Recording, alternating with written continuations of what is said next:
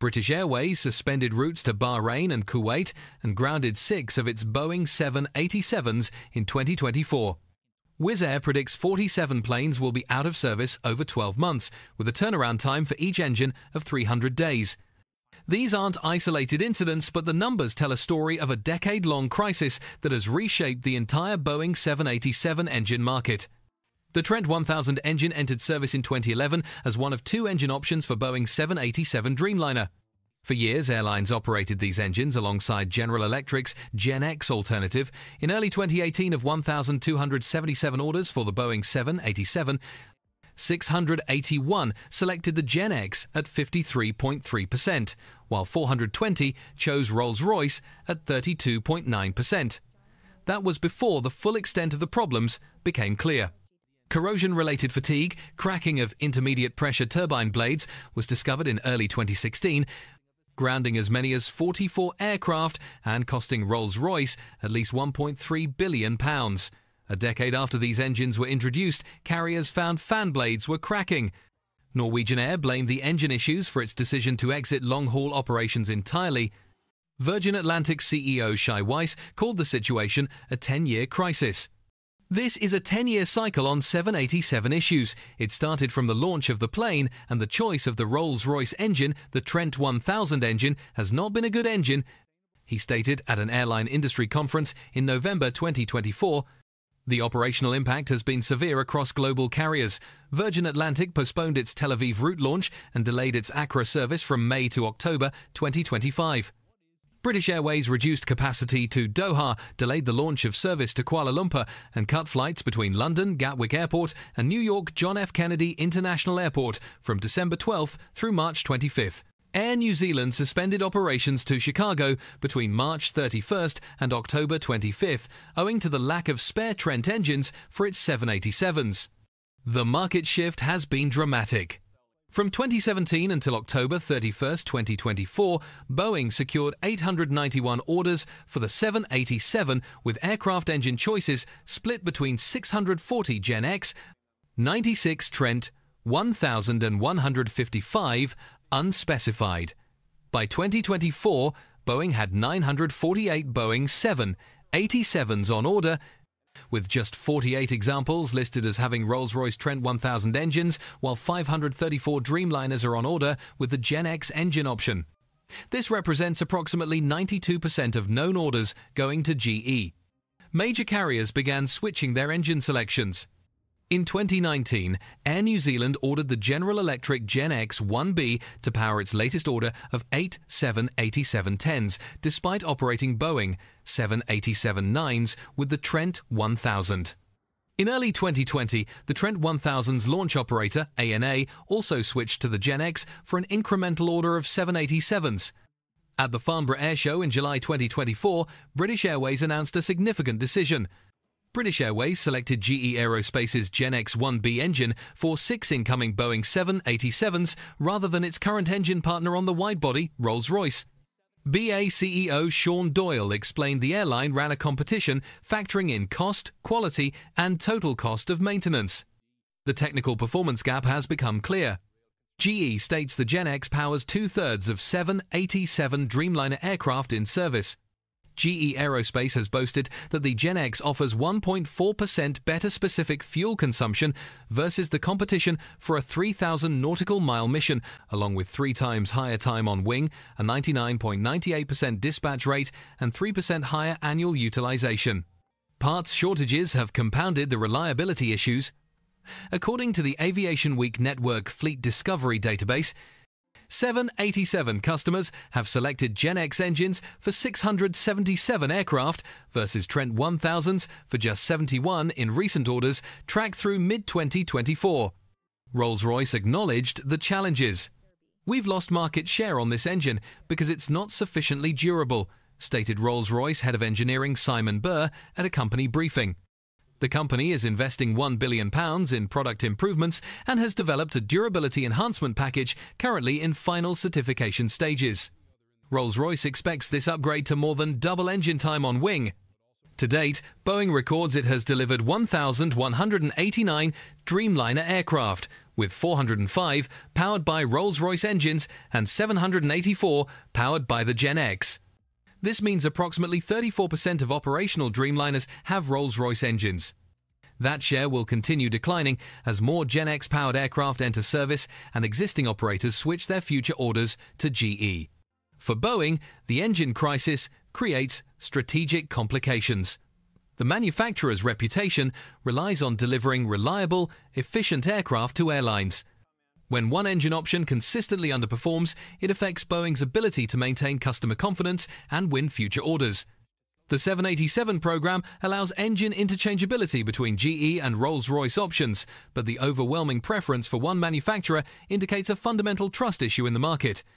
The financial burden extends beyond Rolls-Royce. Airlines face increased maintenance costs, lost revenue from grounded aircraft, and passenger compensation for cancelled flights. Virgin Atlantic says maintaining its Boeing 787 fleet requires nearly three times more attention due to its engines compared to other aircraft types.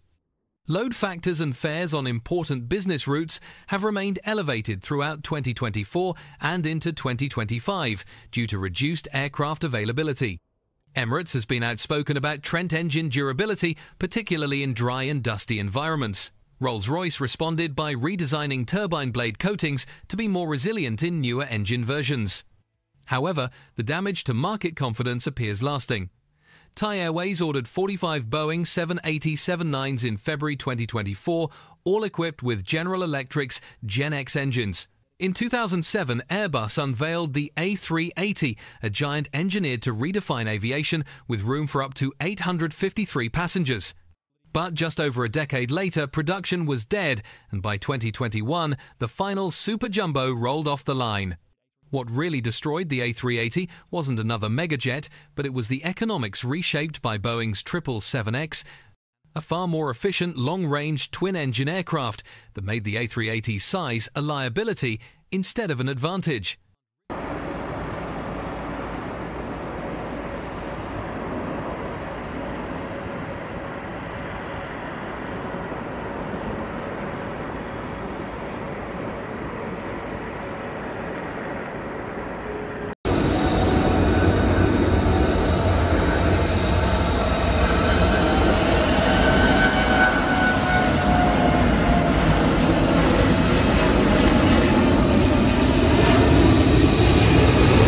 The Airbus A380 entered service with a promise move more people per flight than any aircraft in history. Airlines like Emirates, Singapore Airlines, and Lufthansa placed initial orders. The aircraft required four engines, specialized gate infrastructure, and reinforced runways.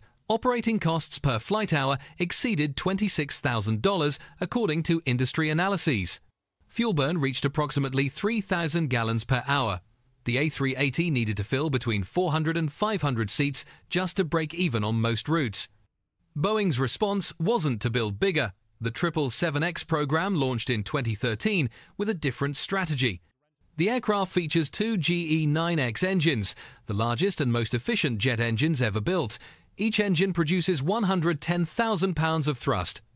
The 777-9 variant can seat between 400 and 425 passengers in typical configurations.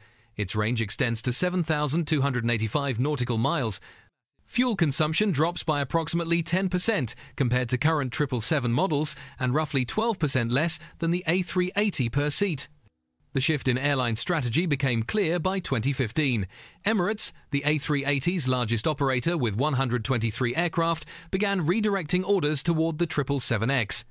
Qatar Airways CEO Akbar Al Baker stated that the A380 was not an economically viable solution for most of their network. The airline ordered 60 Boeing 777X aircraft. Point to point travel replaced the hub and spoke model that the A380 was designed to serve. Airlines discovered they could fly the same routes more frequently with smaller widebodies while maintaining profitability. Airport infrastructure presented another challenge for the A380. The aircraft's 80 metre wingspan exceeded standard gate dimensions. Airports invested millions in modifications. Los Angeles International Airport spent $100 million upgrading facilities to handle the Super Jumbo. Heathrow, Frankfurt, and Dubai made similar investments. The Boeing 777X addressed this through engineering innovation. Its wingtips fold upward after landing, reducing the span from 71.8 metres to 64.8 metres. This allows the aircraft to use existing gates designed for the 777-300ER without requiring terminal modifications. Production numbers told the story of market preference. Airbus received 251 total orders for the A380 across its entire production run.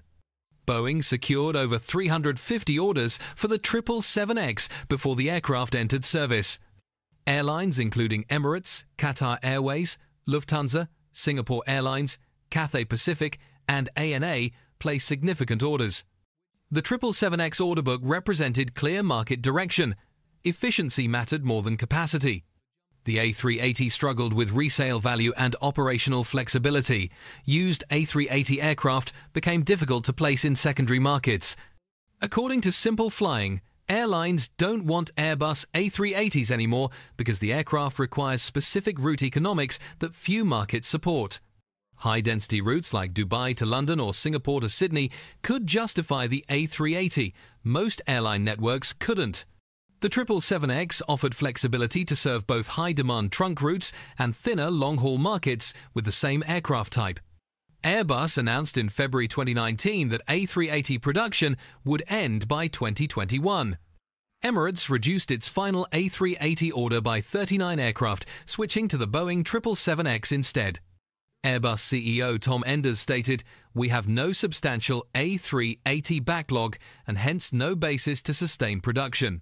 The company delivered just 251 aircraft over 14 years. Boeing projects deliveries of more than 350 777X aircraft, with the 777-9 variant expected to enter service in 2025 and the 777-8 following later. The pandemic accelerated the A380's retirement. Airlines grounded super jumbos first due to high operating costs during reduced demand. According to Yahoo Finance, Boeing's 777X will benefit from Airbus's decision to discontinue the A380 program. Load factors during recovery favored smaller aircraft that could maintain frequency while matching capacity to demand. The 777X positioned itself perfectly for this environment. The final comparison came down to cost per seat mile. The 777X burns approximately 2,400 gallons per hour compared to the A380's 3,000 gallons.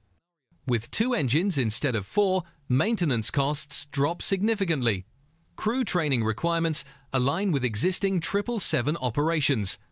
The 777X delivers nearly comparable passenger capacity with 20 to 30% lower operating costs per flight. Airlines chose profitability over prestige. Boeing's 777X didn't destroy the A380 through direct competition. It destroyed the business model the A380 required to survive. The market moved toward efficiency, flexibility, and point to point networks. The Super Jumbo era ended not because the A380 failed as an aircraft, but because the 777X succeeded as a business solution. Airbus built the biggest, Boeing built what airlines actually needed.